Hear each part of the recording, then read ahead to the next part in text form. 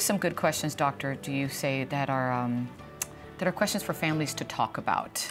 So, how do you initiate Like you it? said, everyone is different. We all come from different cultural Mm-hmm. uh, uh, environments, and some environments, like in my own case, uh, a Hispanic environment, we don't talk about end of life.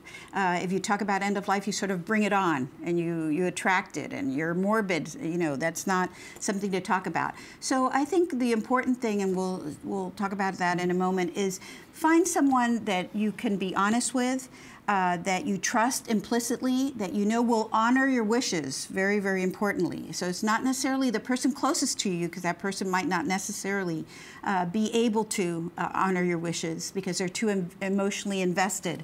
So uh, find that person, and in a very matter of fact way, and it can be in a very positive way. You know, you, you mean a lot to me, and I want you to know what's important to me and what's important in my life. Uh, and I want your help in being able to achieve that. So it could be very positive. Uh, uh, sometimes uh, at the root of, uh, let's say, the loss of someone in your own particular life, an aunt, an uncle, a, a grandparent, you might at that point go to somebody and say, you know, listen, you know, we just went through this loss.